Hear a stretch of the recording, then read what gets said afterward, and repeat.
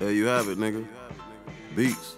You know what I'm saying? Um, shout out to all my influences. You know what I'm saying? Niggas like Nottz Raw. Niggas like Pete Rock. Niggas like DJ Premier.